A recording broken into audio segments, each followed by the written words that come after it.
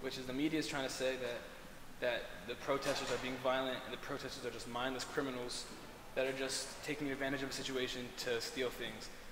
Um, we need to reverse that narrative because it's not true. I've seen with my own eyes the police instigating the violence and, and causing the violence, um, trying to perpetuate a system where they're allowed to come into our city. They, most of them don't live here.